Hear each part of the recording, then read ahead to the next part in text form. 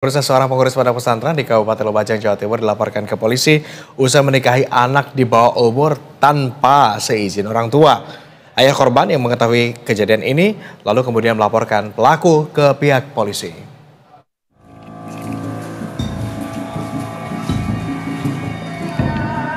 Berharap anaknya mendapat pendidikan yang layak agar bisa sukses, seorang ayah di Kabupaten Lumajang, Jawa Timur ini malah mendapati anaknya dinikahi pengurus pondok pesantren. Yang lebih membuatnya geram, ternyata anaknya dinikahi tanpa seizin dirinya. Ia pun tak terima dan lantas melaporkan hal ini ke polisi. MR melaporkan ER pengurus pesantren di Kecamatan Candipuro. Awalnya ayah korban mendengar isu sang putri hamil. Ia pun menginterogasi putrinya dan mendesak putrinya untuk bercerita. Betapa kagetnya ia saat mengetahui sang anak ternyata telah menjadi istri orang. Ayah korban pun kian terkejut saat mengetahui korban dinikahi dengan iming-iming uang 300 ribu rupiah. Ia kemudian melaporkan pelaku ke polisi dengan didampingi lembaga perlindungan anak.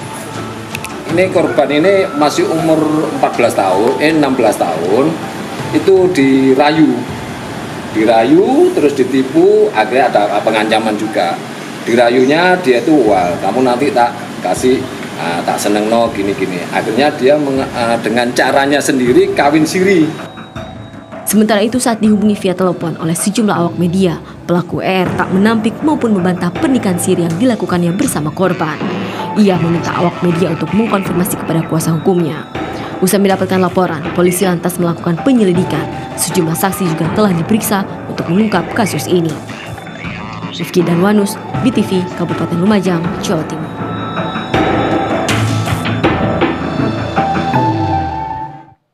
Untuk lebih jelasnya pemirsa kita akan berbincang dengan Wakil Ketua LPA Pasuruan Daniel Effendi. Selamat siang Pak Daniel.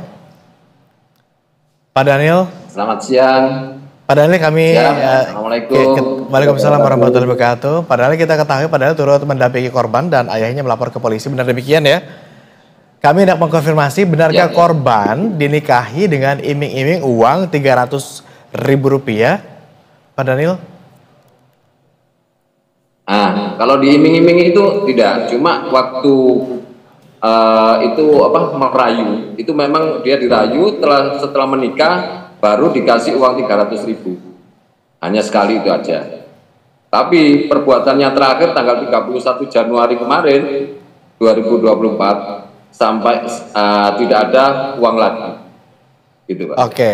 Jadi pada saat uh, hendak menikah hanya dirayu saja, tidak ada iming-iming uh, Anda mau menikahi saya nanti saya akan kasih uang 300 ribu rupiah tidak demikian ya? Hanya dinikahi saja biasa setelah oh, dirayu, tidak. lalu kemudian setelah menikah diberikan uang 300 ribu rupiah begitu ya? Ya betul. Oke, korban sudah mengenyam pendidikan di pesantren tersebut berapa lama Pak Daniel? Uh, dia itu waktu itu mondok bukan di pesantren itu, uh, oh, mondoknya okay. ada di pesantren itu. Jadi dia itu apa di uh, saudara terlapor itu memang mencari anak ini. Uh, memang terlapor itu memangnya predator ya. Jadi di kampung sana itu kalau ada anak cantik pasti dikejar-kejar, dirayu, dikejar, uh, nanti pasti ada tipu muslihat. Ada oh. yang tetangganya tidak saya sebutkan, itu dirayu dia dipikir anu kalau jadi istri istrinya ke satu, kedua, ketiga itu nanti dikasih rumah di surga berlapis emas. Nah, makanya korban-korban okay. seperti korban ini dirayu, dirayu, akhirnya waktu itu dijemput oleh salah satu uh, pengurus uh, pengurus pondok Mm -hmm. Jadi korban justru tidak mondok di pesantren tempat di mana uh, terlapor ini uh, bekerja begitu ya? Ya betul. Oke. Okay. Di luar pondok lain. Justru di luar pondok itu tapi kemudian terlapor datang mencari korban begitu ke tempat korban uh, mondok begitu ya? Ya betul. Jadi memang uh, kayaknya terlapor ini uh, sudah predator. Mungkin apa korbannya okay. tidak hanya satu ini. Saat di sana tuh banyak warga tapi tidak berani melapor. Kemarin saya temui ada salah satu anak-anak uh, mas sekarang sudah SMA. Dia pernah dirayu mau dikawin juga, tapi dia tidak mau. Jadi pikiran saya kayaknya hmm. terlapor ini sudah predator tidak baik, kemungkinan baik. Tapi, korban. yang berani ya saudara P ini aja. Baik, Pak Daniel, sejak kapan artinya uh, terlapor kemudian mengetahui atau mengenal korban di tahun berapa? Uh, 2023 itu dia sudah dirayu hampir dua bulan. Mm-hmm. Nah, setelah dua, uh, hampir dua bulan itu baru anak itu dijemput oleh saudara Mila, diajak ke salah satu rumah yang namanya Hendy, itu coba temannya mm-hmm. saudara dari terlapor.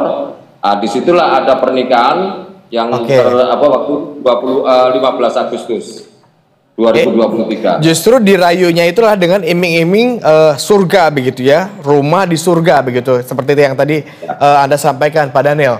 Tapi apakah ya. pernikahan korban dan juga terlapor kini diketahui pengurus pesantren maupun pimpinan pesantren begitu tempat di mana korban mondok termasuknya tempat di mana uh, terlapor ini bekerja? Nah, jadi kalau apa di pondok dia di situ sebagai anggota majelis ya, memang pengurus hmm. majelis. Tapi waktu pernikahan itu di luar pondok, jadi di okay. rumahnya saudara Hendy itu. Nah, ini masih ada kerabat, uh, kerabat dari terlapor. Uh, yang jemput ke rumahnya korban ini namanya Mila.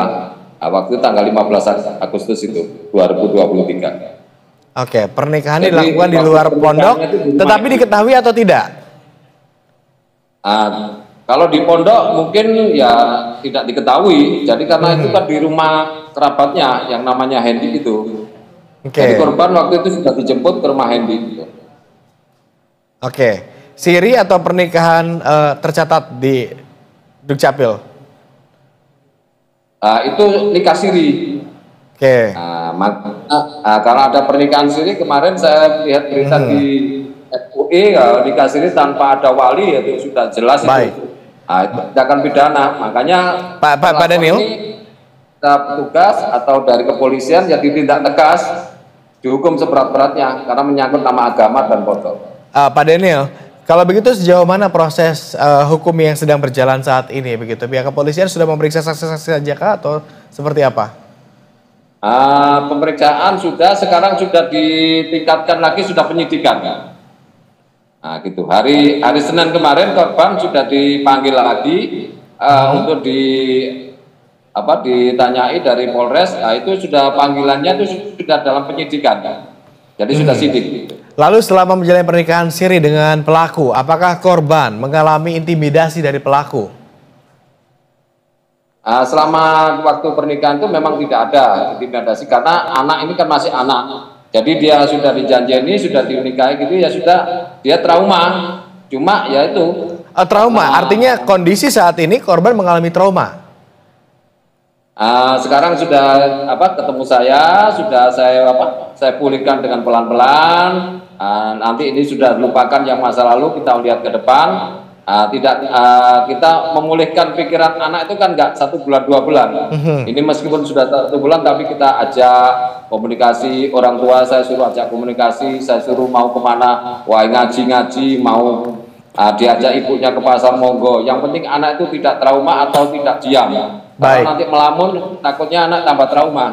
Gitu. Pak Daniel terakhir, apa kemudian langkah yang akan disiapkan, yang akan dilakukan oleh LPAI dalam mendampingi korban? Nah, saya mohon kepada kepolisian untuk ditindak dan lagi nanti ada hukumannya seberat-beratnya. Karena ini sudah predator ini. Jadi apalagi ini sebagai orang yang sebagai pelayan publik, seorang tokoh masyarakat yang punya pondok, yang pengurus pondok, Baik. tapi dia perbuatannya sangat bejat. Jadi saya minta hukumannya seberat-beratnya untuk apalagi korbannya masih anak-anak. Baik, terima kasih Wakil Ketua LPA Pasuruan Daniel Effendi ya. sudah bersedia mengupdate informasi pagi siang hari ini. Selamat kembali beraktivitas Pak Daniel. Ya, terima kasih. Assalamualaikum. Waalaikumsalam warahmatullahi